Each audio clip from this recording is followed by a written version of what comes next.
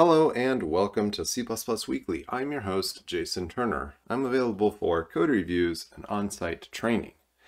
In this episode, I'm going to do a really quick overview of standard ref and standard cref. And this comes down to something that was asked as a requested episode on my list of episodes. So if you are interested in recommending your own episodes or voting on which episodes we do next, make sure you check out the links in the video description for a link to where you can suggest episode ideas.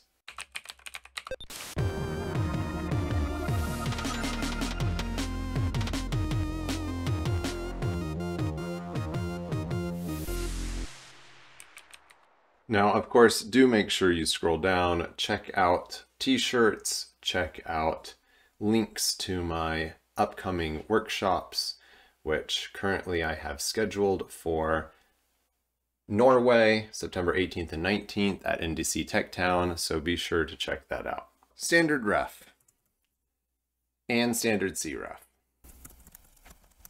Both of these are used as shortcuts for creating reference wrappers.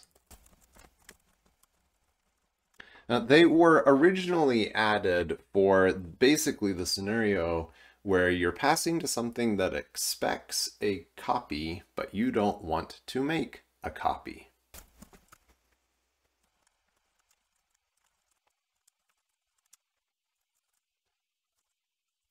Now let's just go ahead and look over here at the Compiler Explorer output. I have bound this function i to my local i. I am incrementing it a couple of times. I'm calling bound, and I expect that main should return 2, but it is not. It returns 0.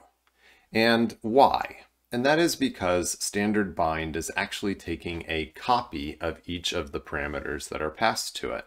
So a shorthand for how to say, I know that you're expecting a copy, but please in fact actually take a reference, is to use standard ref to create a reference wrapper around that thing.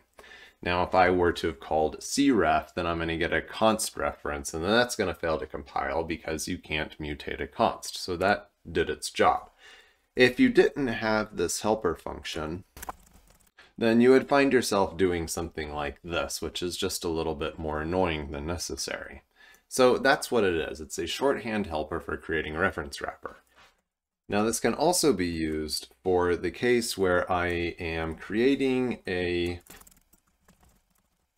struct that I want to hold on to a reference. Now, this also cannot be null, just like a regular C++ reference cannot be, but it avoids some of the problems that I think I've mentioned in other episodes.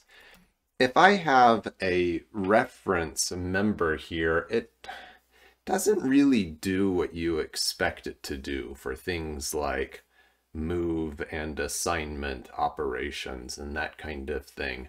And so having a reference wrapper instead of a reference member definitely better because reference member deletes some of these special member overloads that we might want.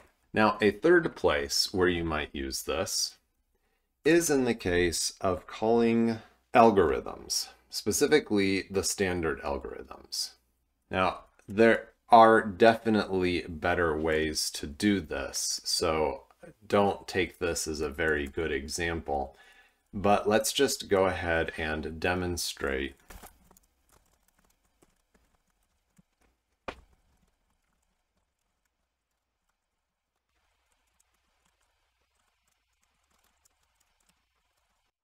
The further I get into this example, the more I think that it's a bad plan. But we will finish the demonstration regardless at this point. Okay, I have a mutable lambda that I'm passing into my for each function. It is to accumulate all of these values. And I can get the current accumulated values by asking it to accumulate zero back into this lambda, which is why this is not a great plan. But you will see that this actually does, I still return zero from main. And the reason it is returning zero from main is because all of the algorithms actually take their callable by copy. So I can actually say I want a copyable thing that is actually a reference to a thing and use standard ref in this regard as well. And then I get 15 printed here because I've accumulated over the values 1, 2, 3, 4, 5, which should be 15. So this is one of the, I think, least known and least appreciated features of reference wrapper and how standard ref can be used. And that capability is possible because it has its own callable paren operator overload that takes a set of arguments and just passes them through to the reference wrapper thingy. This is actually one of the original purposes for reference wrapper. Now, each algorithm has its own rules about whether or not it makes sense to pass in a callable by reference like this. Like if it's mutating, do you have any guarantee what order things are going to be called in? So again, not meant to be a, great example here, but just an illustration of what standard ref, standard cref, and reference wrappers can be used for. I do recommend if you need a reference-like thing inside of your struct that you strongly consider reference wrapper instead of a pointer that has to be checked all the time or a regular C++ reference, which breaks some of our copy and move semantics as we would expect them to work. So thanks for watching this episode of C++ Weekly. I hope you enjoyed it. Be sure to subscribe.